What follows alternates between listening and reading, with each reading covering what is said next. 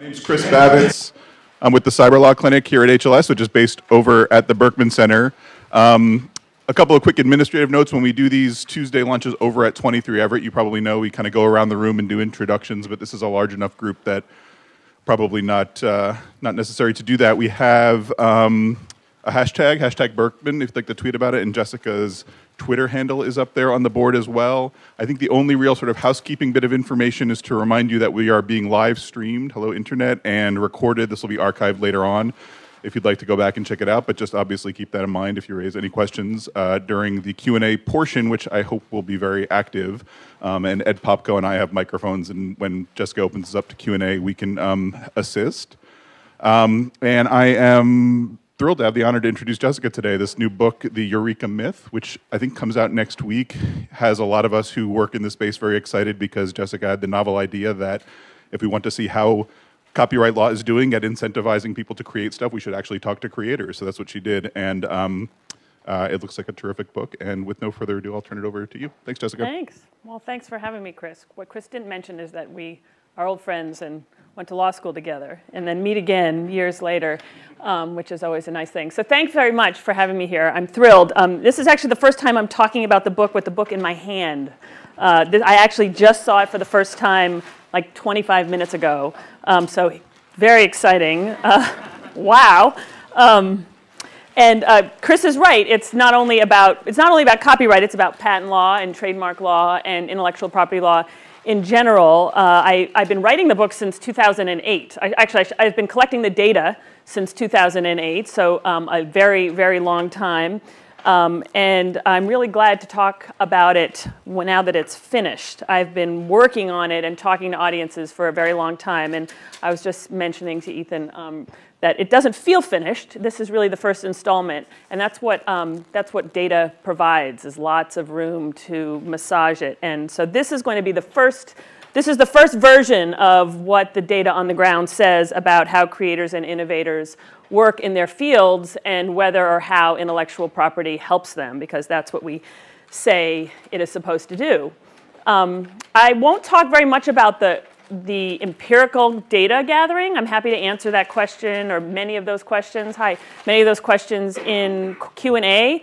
Um, this is a qualitative empirical analysis of 50 interviews, 50 plus interviews. Um, I could talk about how those were structured and what questions I asked and et cetera, et cetera.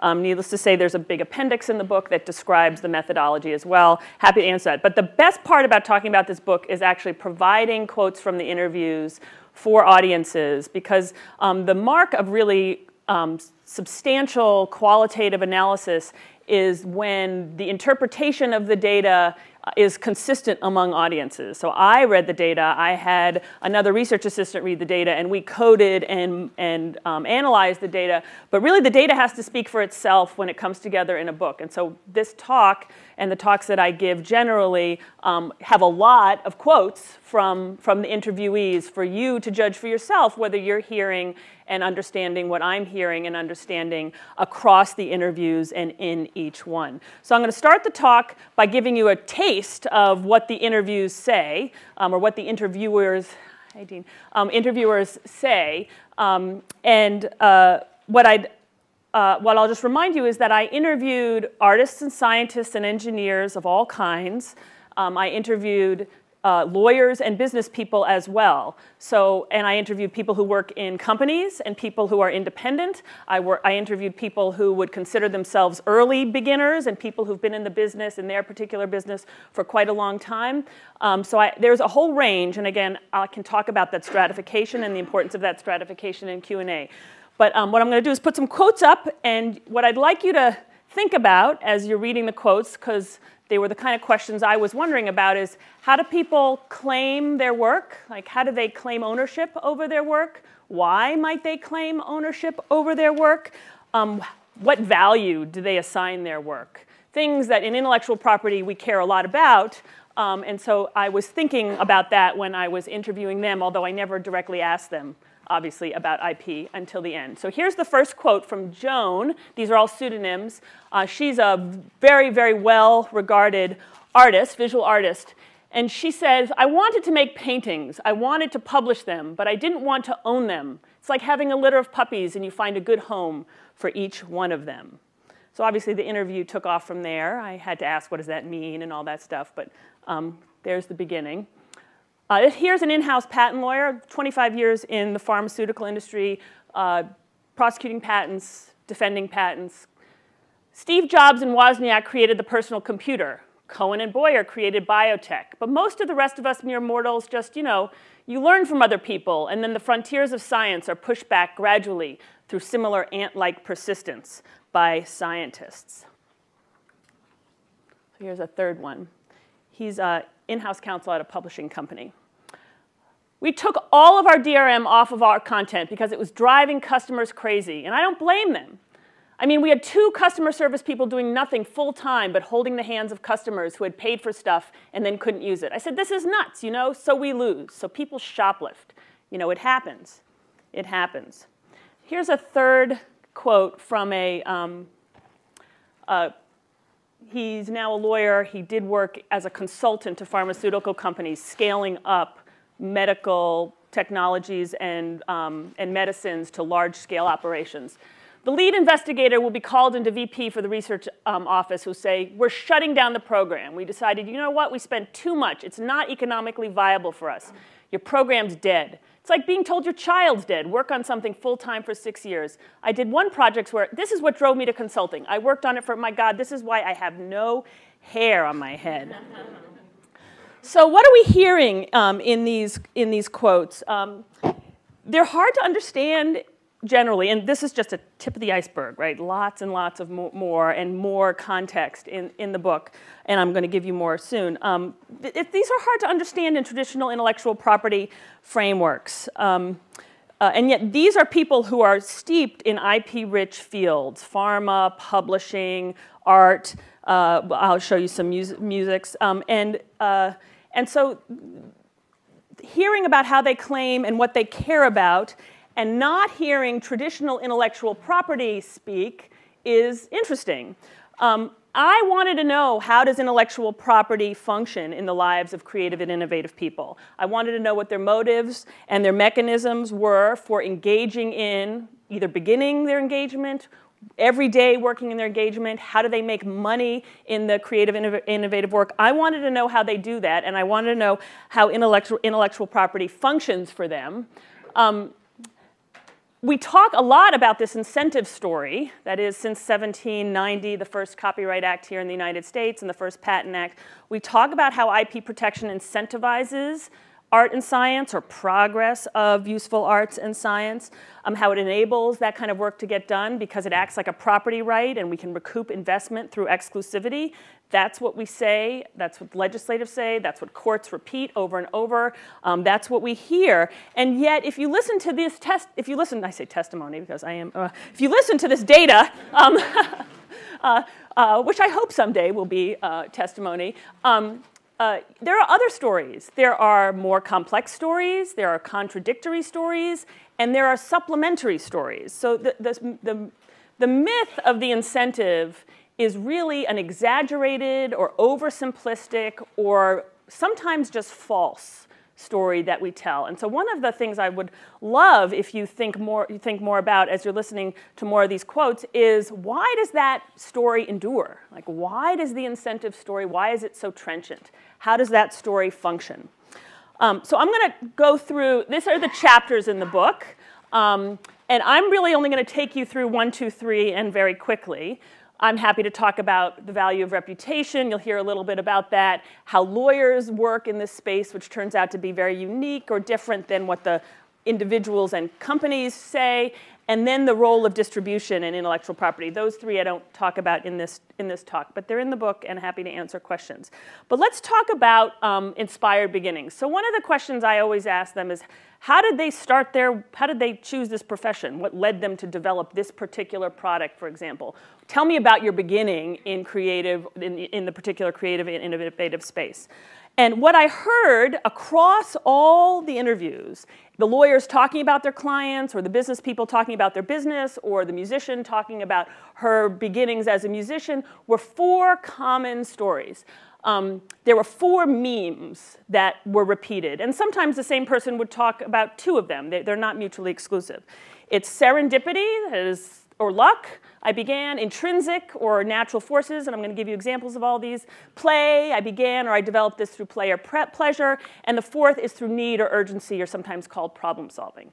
So these four stories that I was hearing, which I wasn't planning on hearing necessarily, you take what you get from the data, actually are substantiated in psychological literature, in sociological literature. That is, this beginning of my empirical study, I found nothing new.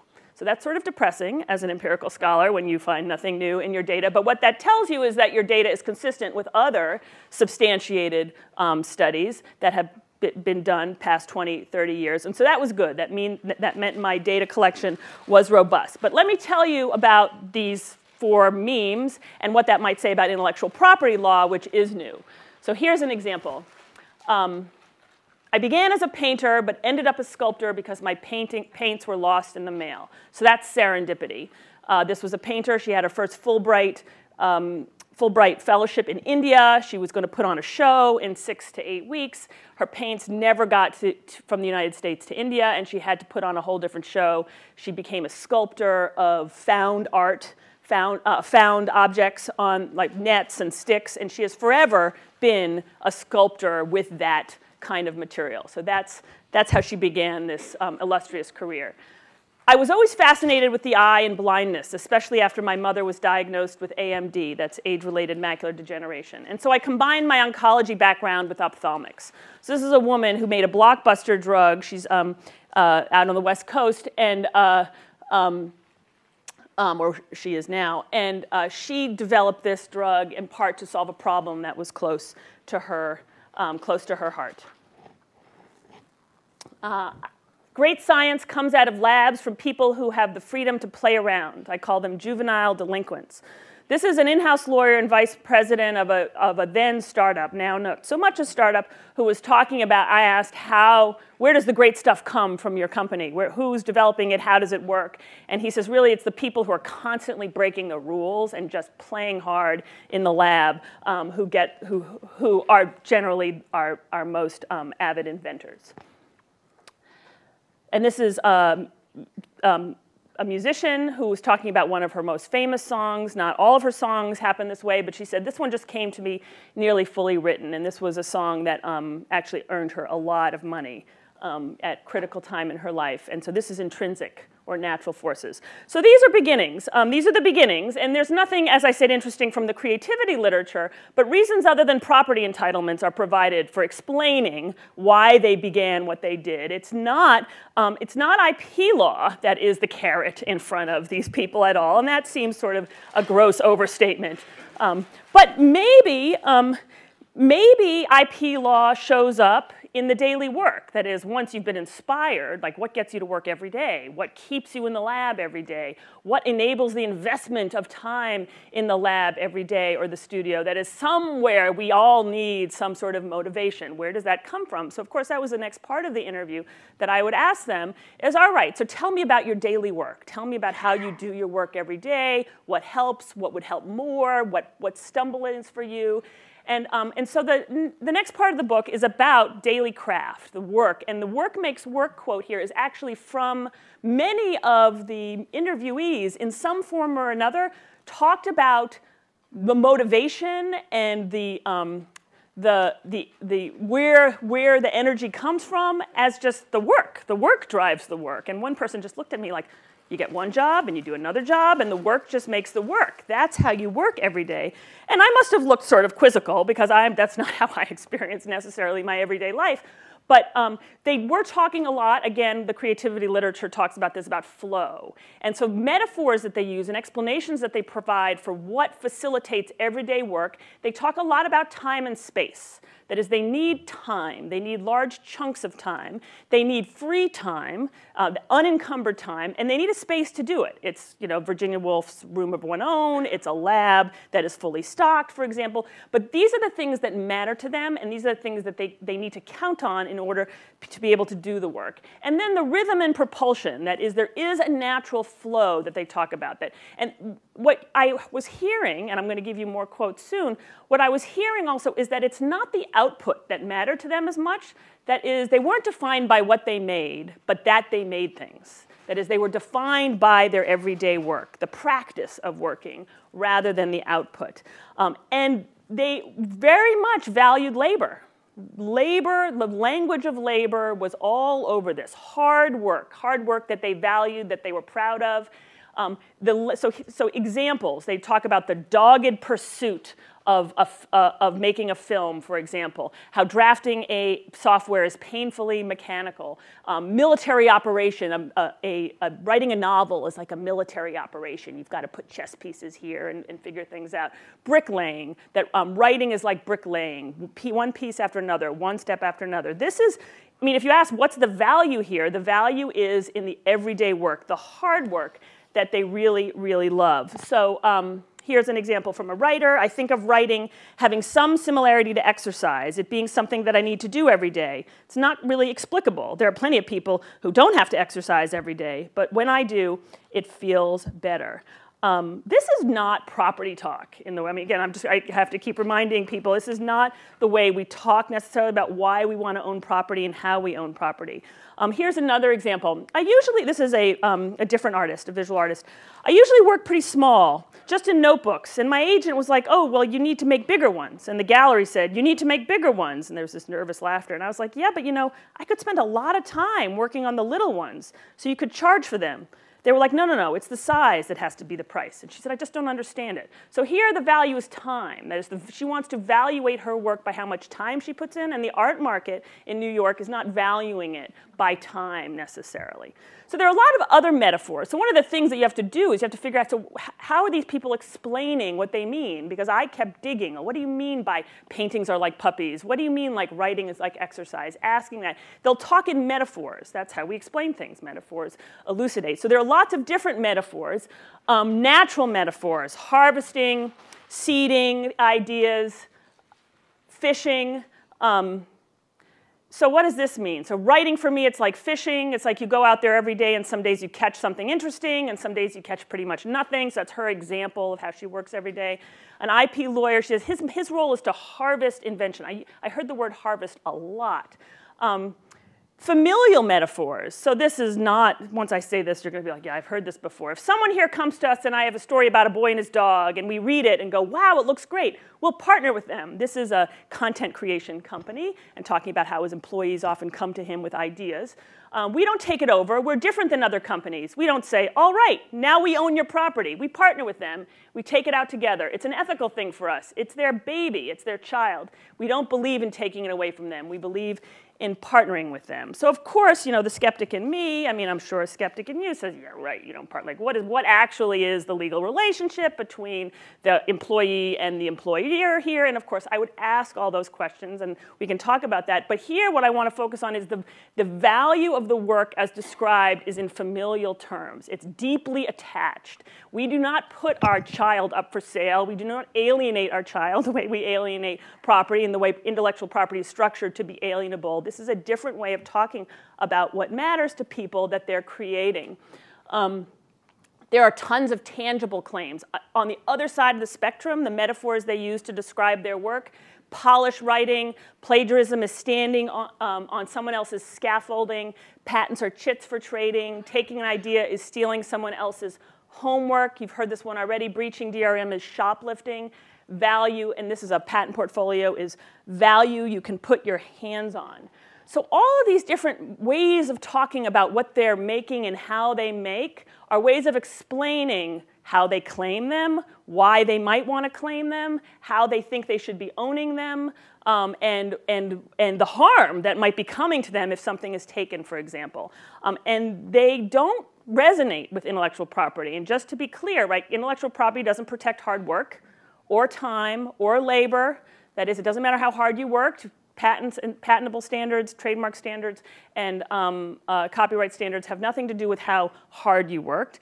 They don't protect laws of nature. They don't protect facts or ideas, anything like that. And, um, and it certainly doesn't have anything to do with personality necessarily or family. Um, so these are not intellectual property values that I am hearing. And so, um, you know, I came to the conclusion pretty much halfway through that I'm just not hearing a lot of intellectual property speak, that there is this misfit, profound misfit between IP rules and professional values in the creative and innovative spaces, and that from the ground, these, um, these, this misalignment or misfit um, is occurring. And then I wanted to know, so what's the, how does that work? So how do they make money? So um, what, you know, what is the effect of that misalignment? And so I asked a bunch of questions, sort of testing the boundaries of when would they bring a lawsuit, what kind of harms, how do they negotiate it, how much do they understand about intellectual property.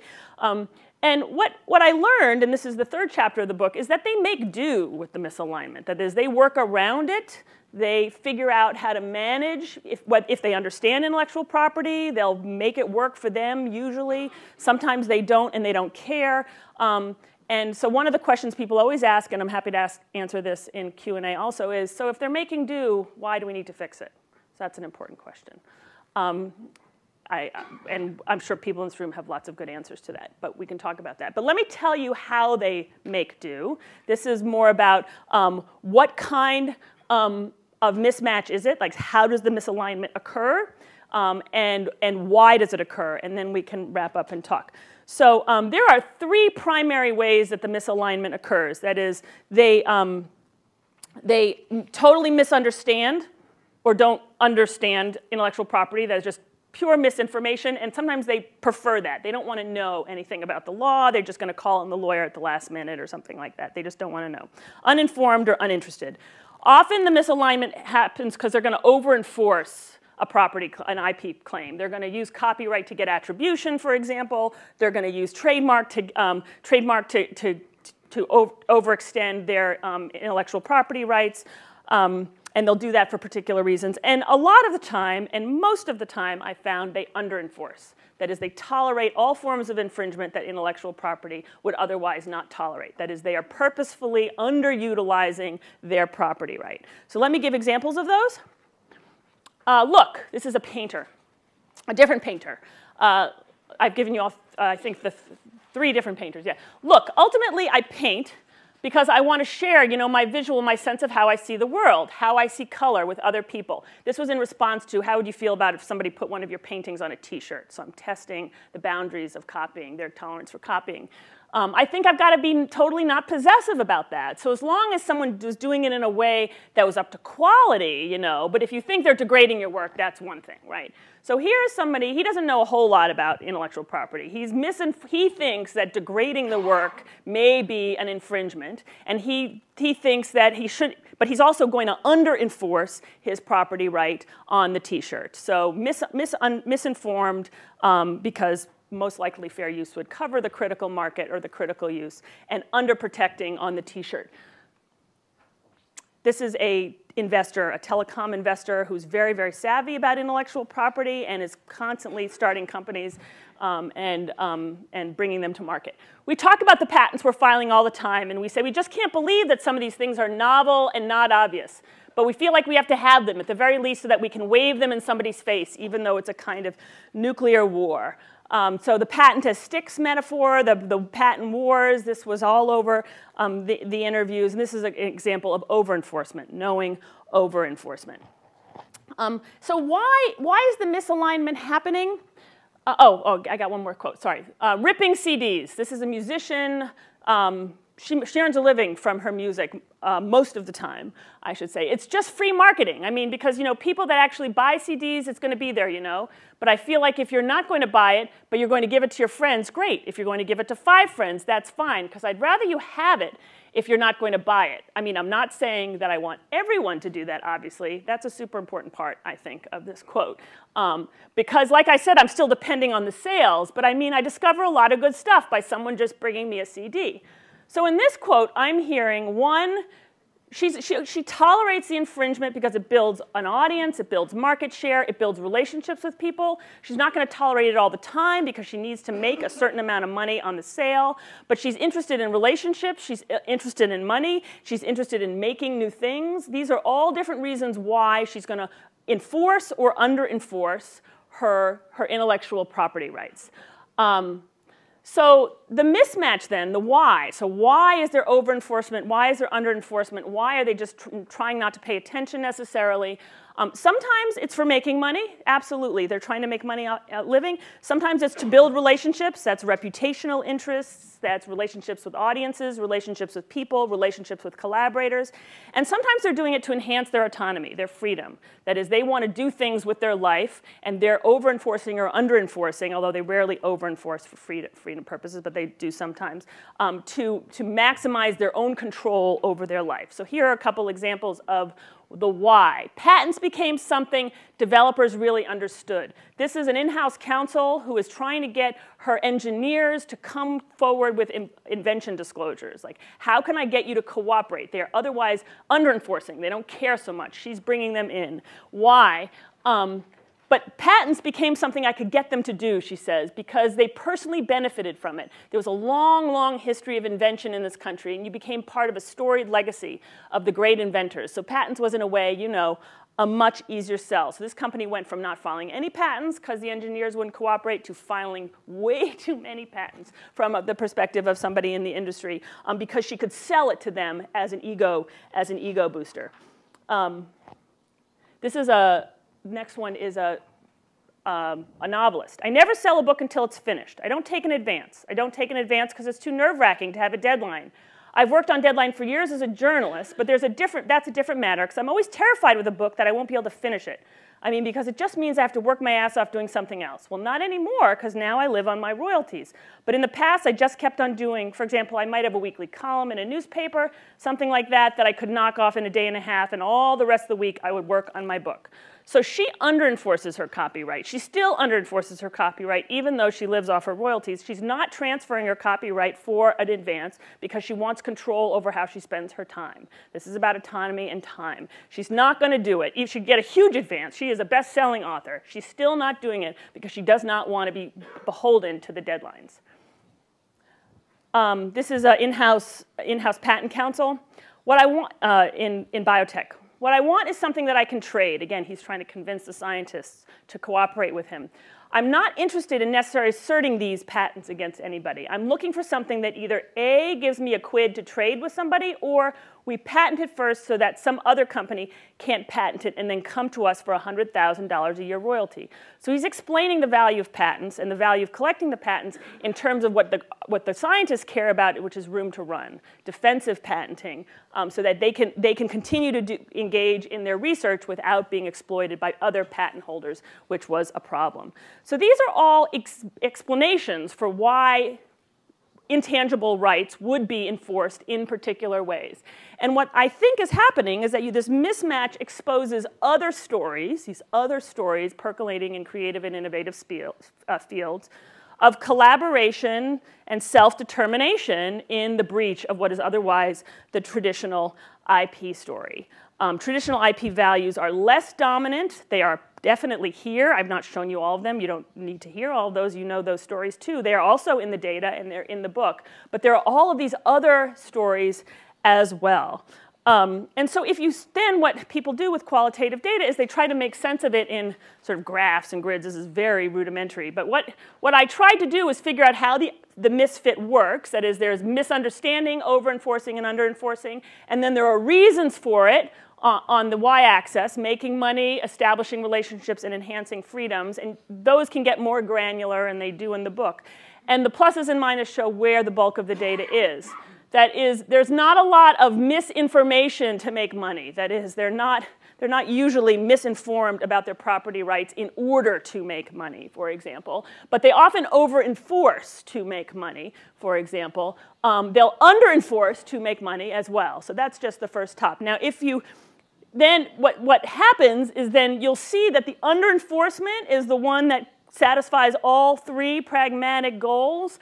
And enhancing freedom is so important that they use intellectual property like rights in all three, um, um, in all three different ways um, to, to establish that. That is, they care more about freedom um, uh, than they do about legal rights. So they're going to ignore that. They are going to over-enforce to enhance their freedom, and they are going to under-enforce to enhance their autonomy. So what do we make of something like this? Um, well, there's a, there's a lot. They make do with this misalignment. They absolutely do. And intellectual property is one of many tools that they use at their disposal. But it's really not the dominant. It's not the dominant one in most of the interviews that I talk to. And how do they make money? This is just a traditional, they just do it in traditional ways. And the second half of the third chapter is how they use contracts and how first mover advantage works, complementary products, uh, building market share, personal relationships, loyalty and reputation, IP in defensive ways and IP in offensive ways. And so it's this panoply of mechanisms by which they make a living, make a living on their, as much as they can on their own terms, and intellectual property plays a much smaller role um, than um, we otherwise hear. So diverse revenue streams, open and fair competition are things that they care about, community-centered innovation, IP is present but not uniformly dominant. So the takeaway then really is that on the one hand, there's a, it's a Goldilocks theory of intellectual property. IP does too much. Uh, it obstructs access and growth. It intrudes on play and experimentation. And it's not the only or most valuable asset or service. You've heard this story before. This is, again, not necessarily new, but this data is provided from the ground up. Um, it also sometimes doesn't do enough, and this is where the, the critique sometimes comes in. Um, doesn't control reputation and identity. People really care about that. So when people ask me, should we revive a moral rights? Do we care about attribution so much that we should have a moral rights, more of a robust moral rights in the United States? That runs up against the First Amendment. We can talk about that. It does not protect time and labor. There are other ways we could do that. Should IP do that? I don't know if IP should do that, but it's something that propels creative and innovative work. And so maybe if we want to promote progress of science and the useful arts, maybe um, we should care about that. And it encourages holdout behavior, which is, of course, something that we do care quite a lot about. So um, one of the things that I care about is that IP should be right in ways that matter. Um, it really should be right. In, in, in ways that it doesn't matter, I think it shouldn't exist anymore. That's my, my harsh takeaway. Um, that is far, far from where we are today, but I think this data in this, um, in this in this study suggests that it's not right in ways that matter substantially to a lot of people. I think we ask IP to do too much most of the time. I think we have to think about optimal alignments of intellectual property and creativity, um, and we should start talking, uh, stop, stop talking about the incentive story um, and start talking about all these other stories that generate creative and innovative work. And so with that, I would love to talk more about the book, answer any questions. Um, and generally throw it open to you all. Thanks, Jessica. Ed, Ed, has a microphone on that side of the room. I have one over here. I'll start. Holly next. Hi. Um, I was curious specifically with the quote that talked about degradation of the work. And yeah. I think this is an issue that, at least in the US, copyright doesn't really address at all. Yeah. And actually is one of the primary drivers that causes artists to over-enforce. And I was curious what you found on that point and what your recommendations would be. Obviously, right. it's probably in your book and all. Yeah, yeah, yeah, yeah. um, so I have. I think actually there's one more. I have another quote on degradation. Uh, this is he's a composer. He says, being a composer is a lot less lucrative than being a chemical engineer. If I were in it for the money, I would have made a poor choice. Um, if someone was copying, my, I really wouldn't care. If it was bringing satisfaction to the people who are doing it, I get to see what I write realized the way I want it realized in my own company. If somebody wants to see it differently in a different venue, that makes them happy, that's great. If they were doing it and not making money, I wouldn't care. So this is uh, commercial versus non-commercial use. Um, if they were doing it and bringing in a profit, I'd like a piece of it. I mean, it depends on how much money they're making from it. As long as it's not defamatory of the original, they can do whatever they want. Like, okay, so you start coding the data in your own terms. That's misunderstanding of the way copyright will work, like defamation and copyright coexist. Um, uh, and if somebody wants to reinterpret a character which is in a non-offensive way, it's a slightly different interpretation, right? So fair use, defamation, copyright, I, the data is very consistent. Even the inventors, they don't want their stuff, even if they don't own it anymore because they've assigned it to their company or they've assigned it to a different company, they don't want their stuff being used in ways that they disagree with. And so you are seeing more side agreements about how the, the invention could be used. I think um, I think we cannot, I personally think having an attribution right in the United States is highly problematic. Like, what does it mean to be accurately attributed to something you, you have to agree, pre-approval, all that stuff. But it is a primary example of where over-enforcement happens, and I think you're right, we see a lot of lawsuits that make maybe bad law um, under those circumstances. So, um, I, I, don't. I have to say I don't know what to do about it. But I, I think about I think about um, da the damage regime in copyright. Uh, you could have mitigation of damages if there's accurate attribution. I think about um, compulsory licensing schemes. I think about notice regimes. All of those I think could help authors feel like they have a little bit more control over where their stuff goes. And the feeling of control, I think, goes a long way. And it might not disrupt the First Amendment concerns that really we are one of the only places in the world that wrestles with it.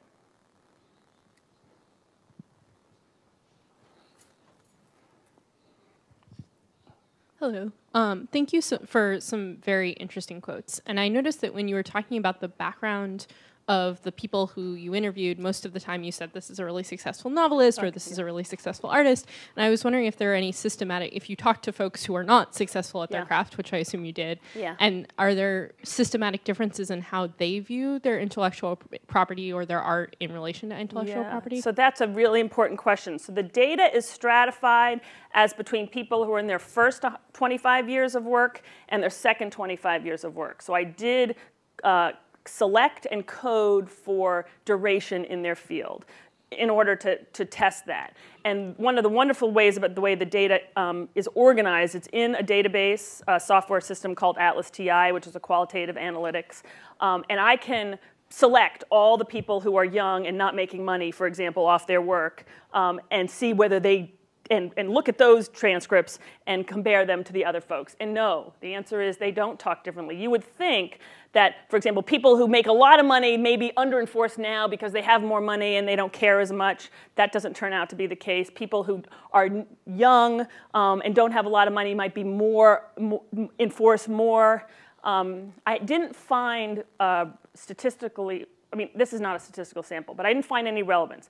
We could, and this is one of the things that I'm hoping is going to come from this, this uh, data, I, I'm going to run surveys now um, big number surveys with isolated groups to see how these variables, which are factual variables, uh, distribute over larger populations. So I'm interested, do graphic artists speak differently than oil painters, for example?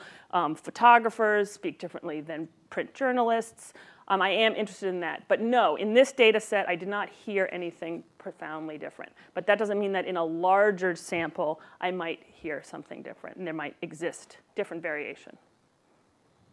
What about differences between, uh, so some of the people you talked to were the actual creators, mm -hmm. the mm-hmm. writer, the recording yeah. artist, the, and some of them were the representative of the companies that then yeah. go out and exploit their works. I, I'm, I'm, i could imagine a situation where a songwriter or a writer might say, well, I don't particularly think about this, but the in-house lawyer, having been an in-house lawyer yeah. for a major content company, would speak very differently about how the company invests. So the lawyers do speak differently. Right. So there's a whole chapter on them, in part because they do speak differently.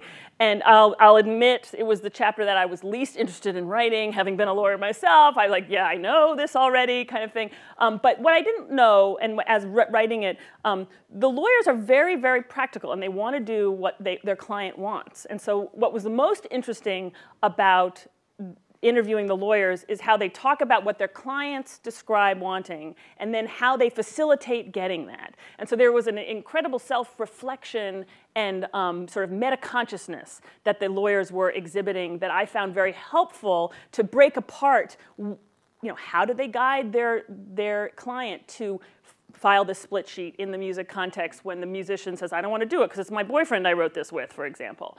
Um, and the, the lawyers talk also in terms of IP as a tool. Um, IP can facilitate their autonomy and facilitate relationships that they want to have or protect relationships. The lawyers talk in the same way about their clients, but in a much more self conscious way about intellectual property. Hi. Hi. I think this is wonderful work, uh, and to go Thank out you. and actually examine, to look the horse in I the know. Talk and- to real people, Right, huh? Yeah. I know. See what's going on. Um, Two thoughts uh, or questions. Uh, One is, um, what, I I come at this with a little bit of a prejudice, but I think I also saw it in what you were saying, that um, probably transaction costs play a very important role in terms of what the uh, actors, what the creators in it see as possible and, and, and see as their set of incentives.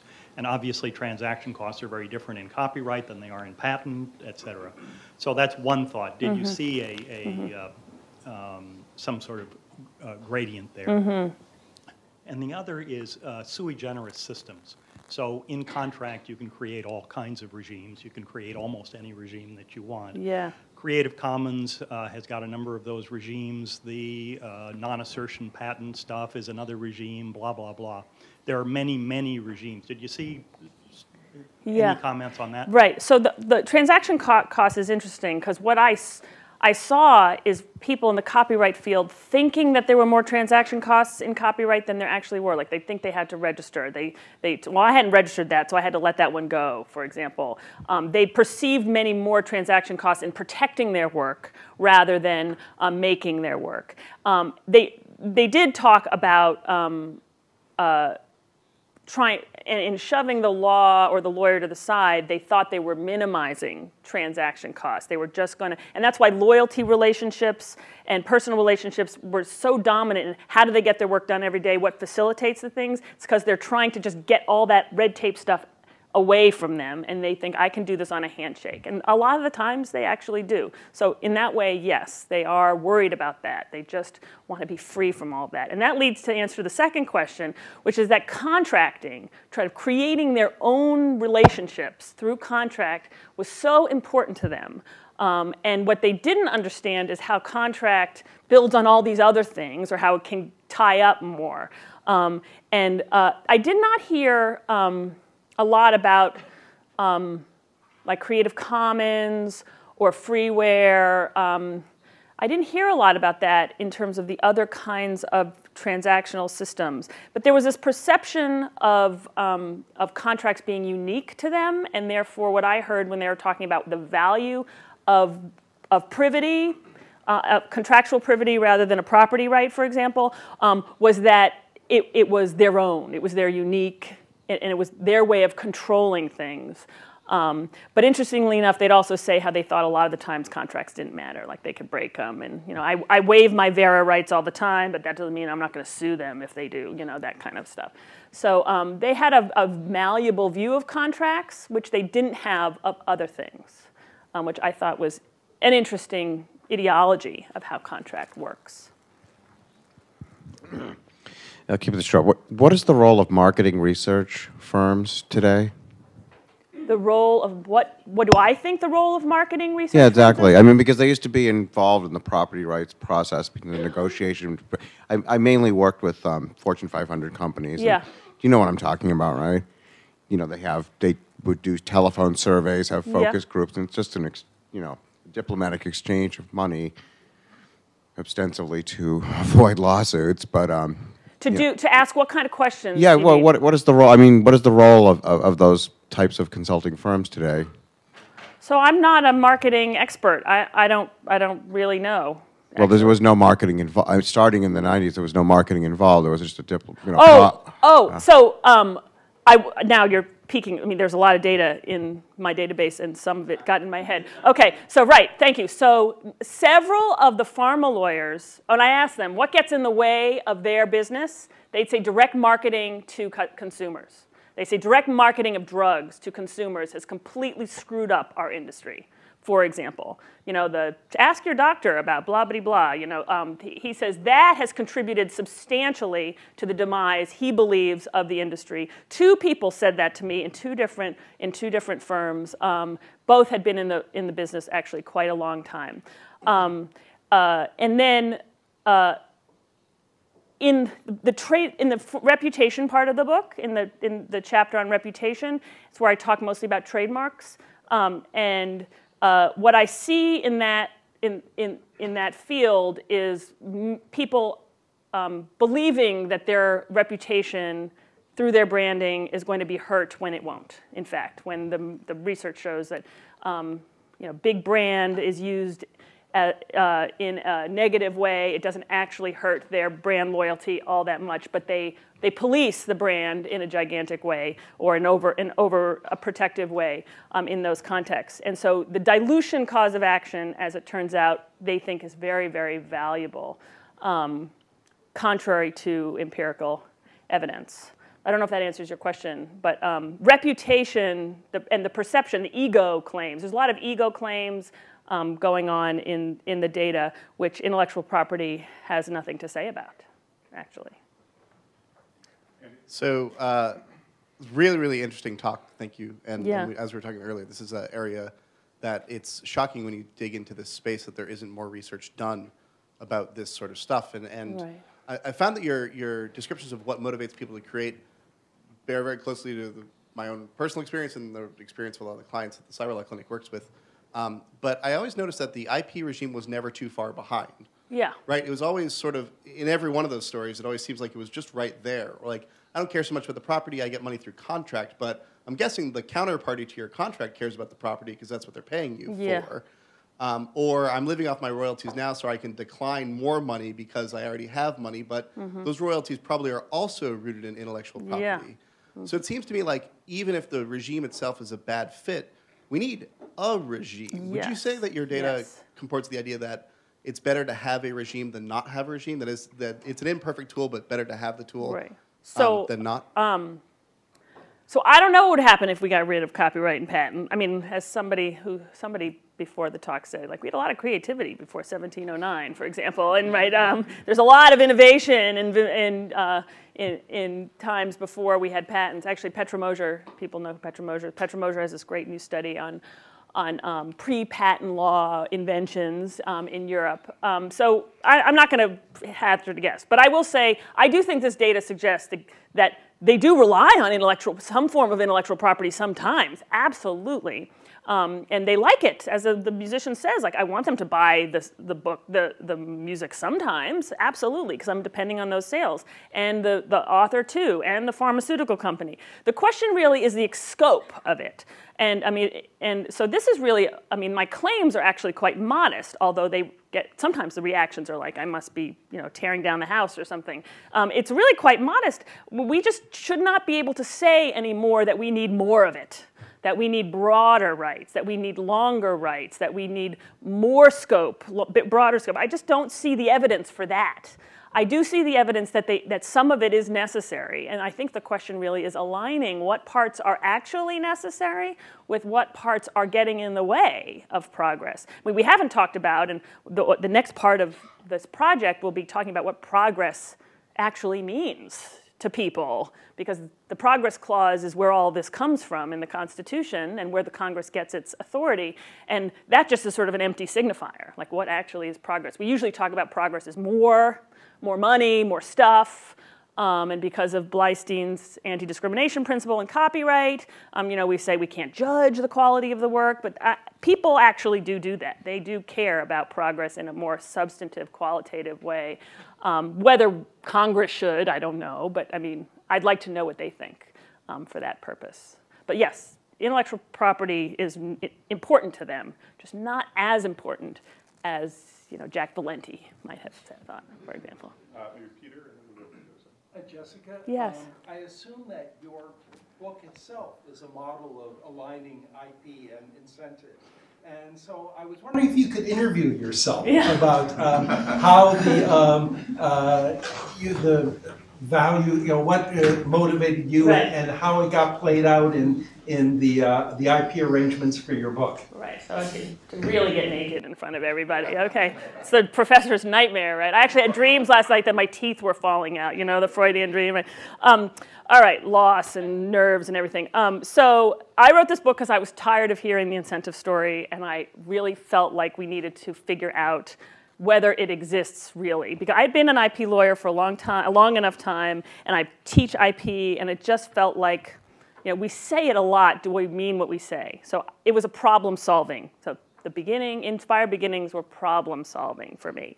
Um, why everyday work? Everyday work. Um, like I didn't get paid to write the book, right? But I have a salary from another place.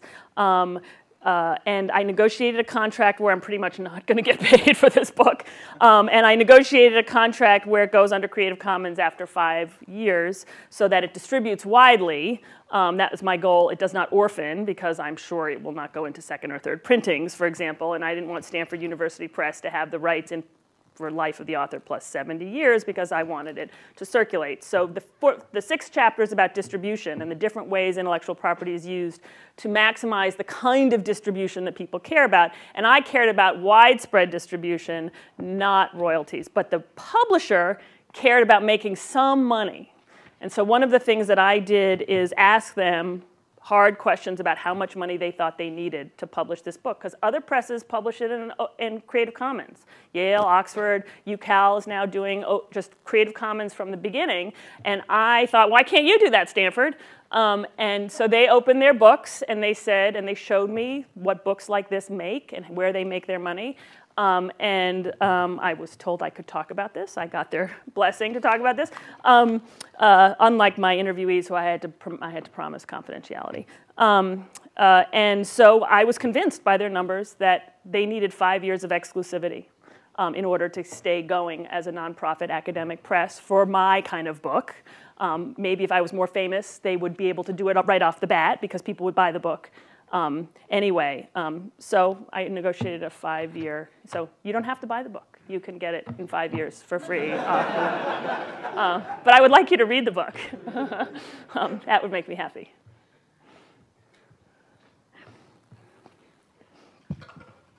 Thanks for a great talk. Um, my question, you may not have the data in your data set. Did you have any findings or did you come to any conclusions about people for whom their creative production is entangled with other people's creative production and how that may shape or shift the conversation in different ways? Um, you mean the actual making of it, like you know, have cross licensing, for example? it may not like even be that formalized. I do a lot of work with sort of amateur creators. Yeah.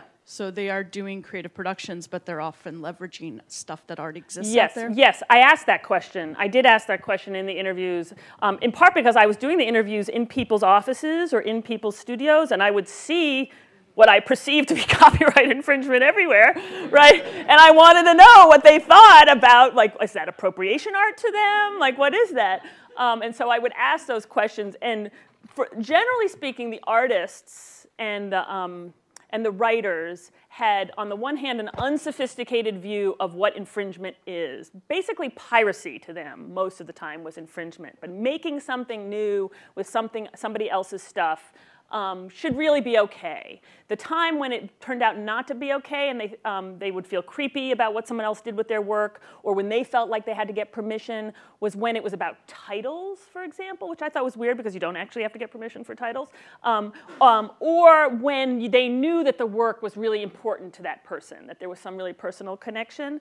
Um, so, but then there was some sophisticated views, which uh, didn't, it's not because they knew or didn't know, but um, they, would, they would ape the you're standing on the shoulders of giants story a lot of the time. That is, how do you write a novel without reading Jane Eyre and being inspired by, by Bronte? Like, how do you, um, of course, we're all inspired. And so they would sometimes draw distinctions between inspiration and what they perceive to be um, unethical copying. And I will say one of them, um, working on a piece right now about what borrowing might mean in this data. I'm interested in the concept of borrowing and how it doesn't fit well with intangible rights, but in fact, they talk about borrowing quite a bit, and it didn't get into the book, what borrowing might look like, and I'm, um, I'm interested in in figuring that out more because they they do recognize it, especially the scientists. The scientists just are the ones that are the most clueless about that, actually. Um, but yes, so it's there for sure. Uh, thank you for the talk. And this is perhaps a follow up question to the one that just came before.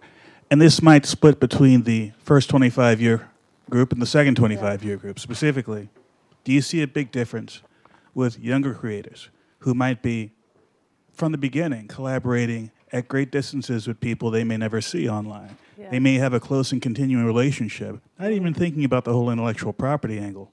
And then suddenly, there's something created. And hey, you have rights here in the United States and laws and such, but your collaborator, who you may not have even talked to on the telephone over three years, should have rights, but has no way to enforce them from Botswana or wherever. Yeah. So that's an interesting question. I'm trying to think. Um, the, the first thing that comes to my mind are the, the scientists who very much want to, want to collaborate with people all over the world. The medical scientists, for example, medical device scientists, and the, the companies that I interviewed who do international work um, are, are sensitive to leakage when they go outside the United States. They feel comfortable in the United States doing the work, but when they collaborate cross borders, the intellectual property rights um, get much more complicated, and the scientists rebel, and the lawyers don't let like don't let them travel or don't let them speak until they've gotten all the IP buttoned up. Um, so it's not between the younger generation and the older generation that I'm he- hearing it. It was between the lawyers and on the one hand and the business people and the scientists on the other in in the patent space, specifically in the medical space. Um, I'm not thinking about. I can't think about anybody. Oh, I'm, now there's a novelist who um, won't put anything on the internet because she's worried, just doesn't know what that means, putting it on the internet, and how it just gets out there, and I have no control over it. And her publicist keeps saying, you, you should put it on the internet. And she's like, I just, I don't know who all those people are who are on the internet. It's this very Luddite view of it. Um, she's a best-selling author, and she just feels like, what do I need the internet for, right? That's what she sort of says. Um, so it's not necessarily about collaborators; it's about control, necessarily. But I hear what you're saying about um, about sharing across borders. Uh, I didn't hear that, I, not off the top of my head. But I could. One of the va- values of this data is I could I could ask the data anything. It's a, I could I I could ask the data almost anything because I can. It's a Boolean search or based on the codes, so I could go back and ask that question. To the control point, Chris Rock actually just had a really interesting interview about the control of practicing comedy routines in nightclubs, and now people can tape them and share them, and that might not be something you wanted out as Yeah. sort of a single-use destruction. Um, but to my question, which was when you talked about the uh, writer who didn't want the advance, and you categorize that as under enforcement, Yeah. are you distinguishing between under exploitation, Yeah. which is sort of what you're doing with your book? You're not exploiting yeah, it for maximum. I do. Yeah. I am. That's that's a nice distinction. Thank. I didn't mean to cut you off. Did you have? Okay. So right, under exploitation. I I, um, I am unsatisfied with my over enforcement under enforcement binary. I'm I generally am unsatisfied with that. But you know, the book had to get finished at some point. So maybe it gets revised. Um, right. So I do. Uh, under exploitation is a better way of saying it. Um, but she's also.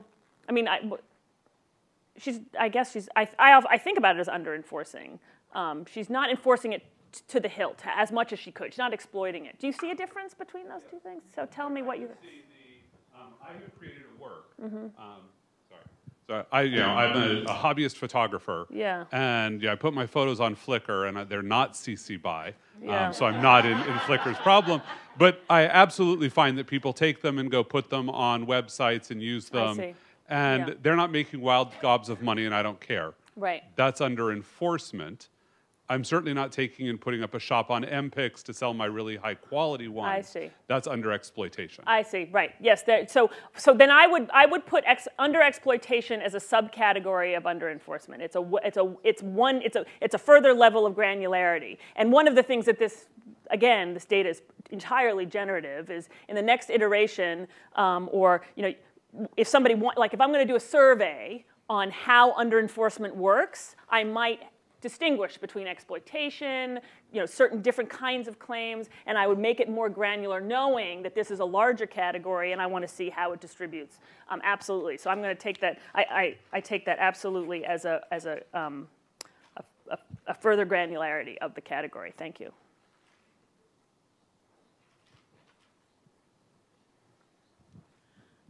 So you've been speaking about the incentives myth for creators, the person who's actually creating. But in a lot of these cases, you've been talking about high technology firms. Mm-hmm. Is there an incentive? Do, does the incentive myth hold true for the companies yeah. instead? So I thought that that's what I was going to find, and I didn't find that. It's so surprising, and um, the whole idea of the company as a person, I'm politically very uncomfortable with. But um, it, they talk about their companies the way they talk about their creative work, the way companies. Um, I mean, the book ends um, or there's a lovely quote by this guy um, who has, um, he's on his second company. You would think that like once you go through many of them, you, they're all sort of fungible. But, um, but he talks about, uh, let's see if I can read it to you because um,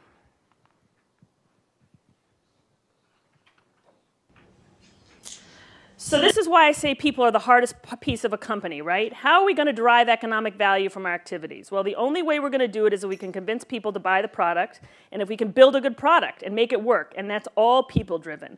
Technology, you know, it's all people-built technology, but at the end of the day, people like to do business with other people, and people are social by nature.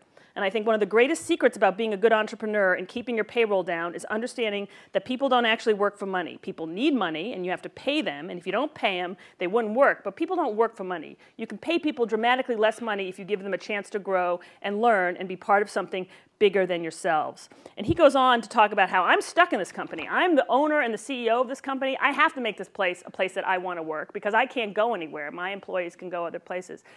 Whether it's, I mean, his company is um, 60-ish people. Um, I interviewed people who are CEOs of much bigger companies. They talk like that. Now, you could ask, well, that's the way they talk. Do they really think that way? And economists care a lot about behavior versus preferences, attitudes versus preferences. Um, I think the way we talk matters. It especially matters in law because talk is testimony, talk is facts. Um, I think the way we make sense of things through language actually changes the world. So I think how we talk, you know, if companies are talking that way, that's, that matters. So I was surprised, actually. I mean, not all companies, I should say also, one company could have three different uh, personalities.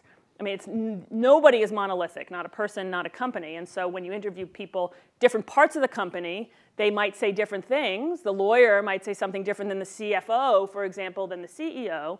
But that just goes to the plurality of ways these companies make sense rather than the unified or dominant way that we talk about what matters to companies, like shareholder value. Like you know, that in and of itself doesn't make a lot of sense all by itself. So. Yeah, so uh, as we've been having this discussion, I think your, your research method is really interesting both in this book and, and the future work you've been describing about uh, about you know uh, talking to people, conducting surveys that yeah. are attitudinal. But you, you did in talking about behavioral economics. Yeah. Uh, there's a lot of concern about revealed preferences, and I'm yeah. wondering if that is.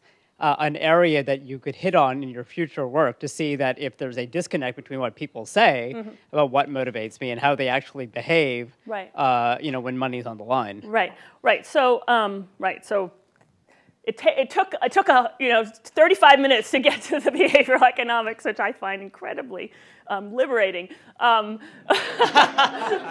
um, so you, I can test how they talk versus how they behave. I mean, so when I first started doing this research, and I'm talking to a lot of people who are much smarter than me, you know, people are saying like, you say you're an environmentalist, but when you brush your teeth, do you keep the water running?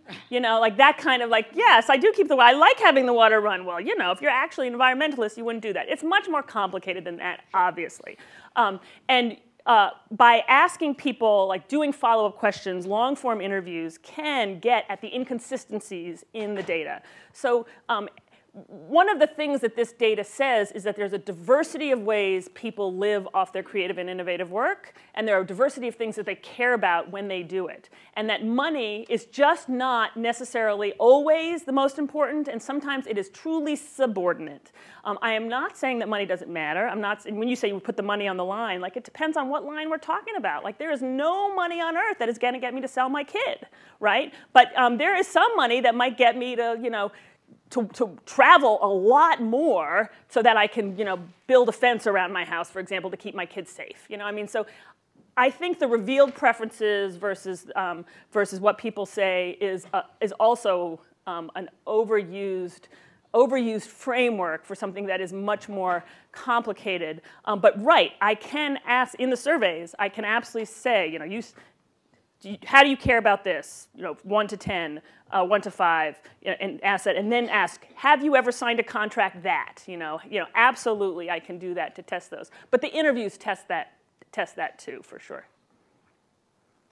time for one more. Okay. Um, as everyone said, thank you for this great presentation. Um, something that we didn't really touch upon is the fact that uh, most of the artists you were referring to were kind of people who made the conscious decision to become artists. Um, so I was wondering whether or not you heard anything from or have inf information on people who basically became, who were inadvertent casual content creators. So specifically what comes to mind is the young man who um, made that famous image of Steve Jobs on the day he died or anybody really today who comes out with some video or picture that ends up going viral. Um, so, so I'm wondering what, if you found any information about them and like what type of, uh, I guess, space you think there is to talk about those people in the progress of intellectual property. So that's interesting. So th- the first thing that I think of is today I read an article about a girl whose face went viral on the internet because it was, and it's, she had she didn't like the way she looked. She people were making fun of her, and she's filed a suit against Instagram to get it off. And I am certain she is going to use intellectual property to try to get that. Um, uh, that's a different kind of question. Like how is intellectual property used when you're not otherwise thinking about promoting progress in science of the useful arts? Then how do people who do that, that is conform to the constitutional prerogative, use the, the regulatory system that is for them? So I haven't, I consciously only interviewed people who I thought um, who, who were, were in the fields that consciously get regulated, not the ones that um, by happenstance would use intellectual property regime to help them get justice, for example. Um, so I didn't interview, but I did have plenty of people who, um, who are working at jobs that are not their passion, that are not their art, or not, you know, they are, they are garage inventors, but by day they are something else. Um, so I do have them, but they're not happenstance. They're deliberately working at it. And that's because I thought it was important to identify as a creator and I, or innovator in order for the intellectual property story to be meaningful for people who might be interested in reform. I think we will leave it at that and thank Jessica for Thank uh, her talk. Thanks.